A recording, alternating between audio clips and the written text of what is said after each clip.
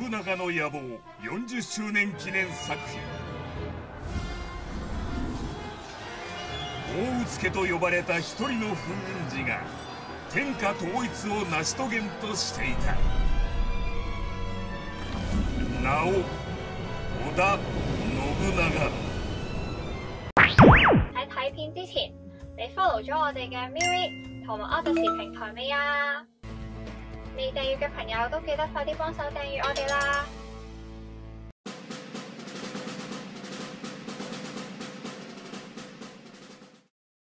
北条武将2200名以上自ら考えて行動する生きた。武将た。ちかつてないスケールで描く空心一体の戦国大剣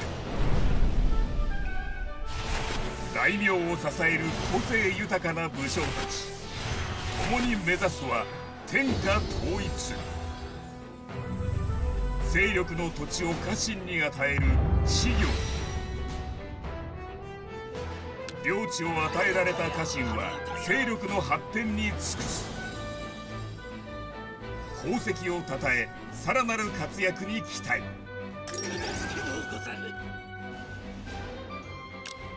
思うところがある武将とは直接交渉も。家臣一人一人との絆を深め勢力の礎を築き上げろ。国を飛ばせ兵を鍛える。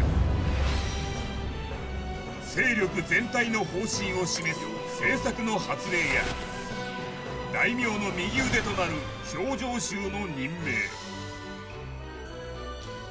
大名家臣の個性を生かした勢力独自の強化を図れ。勢力拡大へいざ出陣。敵味方の戦力を見極め行軍ルートを選択。自らの意志で動く家臣と共に挑む勢力の命運をかけた戦い。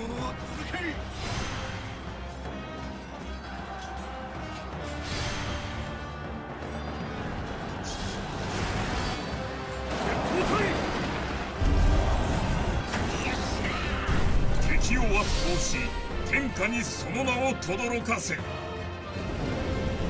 事業による家臣の結束戦略的な勢力強化そして戦による領土拡大空心一体となり天下統一を果たせ。